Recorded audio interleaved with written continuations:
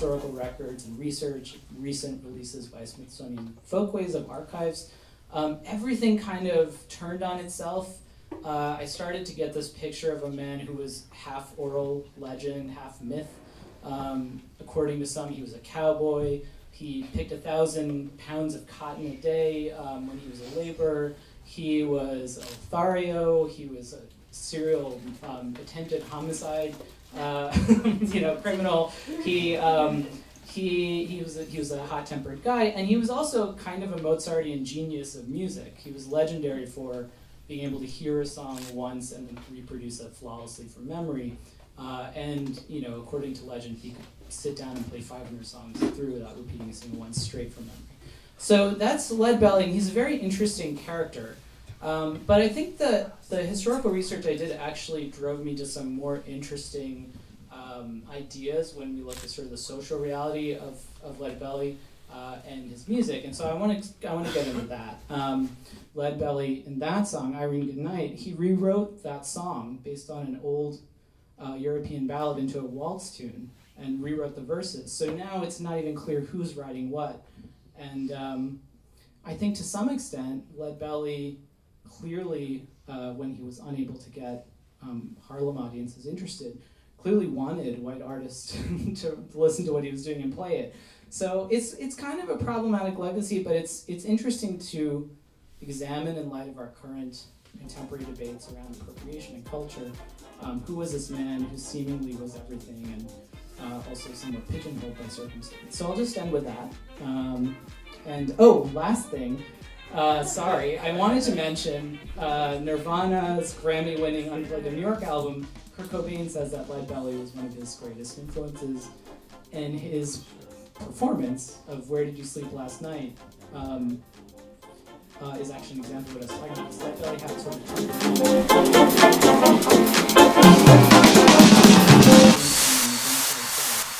and then that he sang for white audiences that was more about heartbreak. And so I'll just end with that.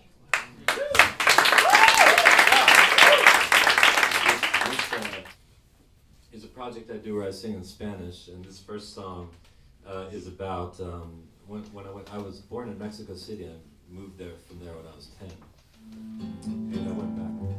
No hay prueba que me puede confirmar la foto creada en la imaginación. A pesar de todo, no hay prueba que me puede confirmar la foto creada en la imaginación.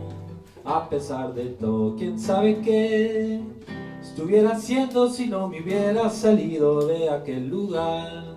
Y no hay por qué pensar, quién sabe qué estuviera haciendo si no me hubiera salido de aquel lugar. Y no hay por qué pensar, cada decisión, en cada situación, tiene una reacción. Cada decisión, en cada situación, tiene una reacción y va a su dirección. Y yo con mi canción no era conspiración.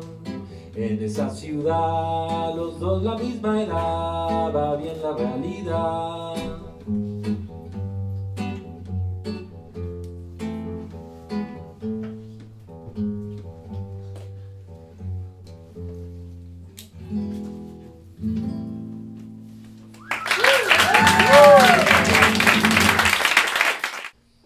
I had had this image in my head of what the lyrics were about because it's a beautiful song.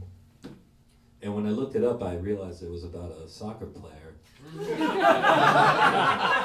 and uh, not only like a very poetic, like it was literally like uh, about one goal this guy had scored. and uh, the lyrics were very like, uh, they sounded like a sports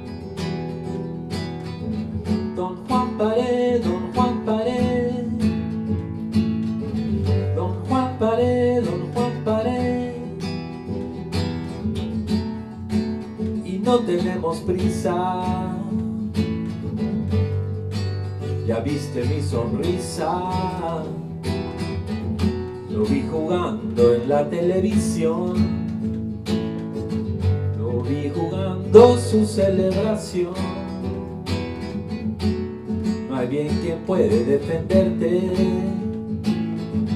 No podrán sin mucha suerte. Don Juan Pared.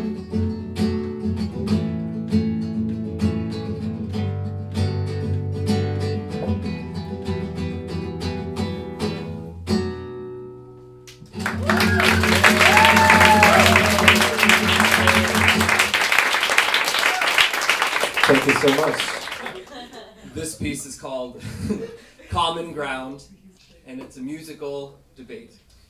And yeah, we, we wrote it specifically for this show.